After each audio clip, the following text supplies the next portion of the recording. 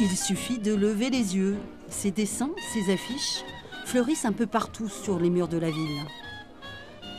Sur les planches de Trouville, la promenade porte même son nom. Raymond Savignac fait partie intégrante du patrimoine de Trouville, où il a passé 23 ans de sa vie. C'est notre peintre, tout simplement, c'est notre artiste.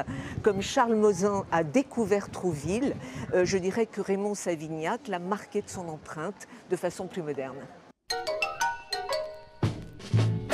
L'humour de l'affichiste le plus célèbre de France n'en a pas fini d'influencer d'autres créateurs. Il y a 15 ans, Tsuyushi Fukuda est venu à Trouville. Gros coup de cœur pour l'endroit et pour Savignac, bien sûr. On reconnaît dans ces affiches une forte influence. Euh, ces animaux, bien évidemment, qui sont tous des animaux humanisés. Et euh, à travers ces dessins, bah, Fukuda, comme Savignac, hein, porte un regard, bien sûr, sur notre société. Les deux hommes ne se sont pas rencontrés, mais le japonais, comme le français, est tombé sous le charme de Trouville. Aujourd'hui, à 75 ans, il livre ses œuvres avec sa vision surprenante de la station balnéaire normande. Je cite précisément euh, Fukuda. Je pense que la ville tout entière est un poisson. Je vais réfléchir à ce sujet quand je serai de retour au Japon.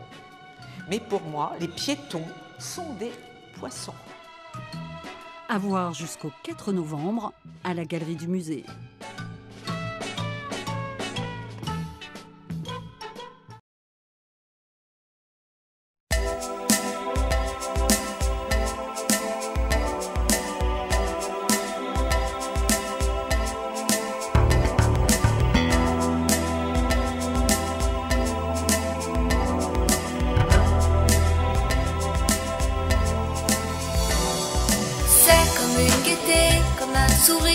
Quelque chose dans la voix qui paraît nous dire viens, qui nous fait sentir étrangement bien. C'est comme toute l'histoire du peuple noir qui se balance entre l'amour et les espoirs. Quelque chose qui danse en toi. Si tu l'as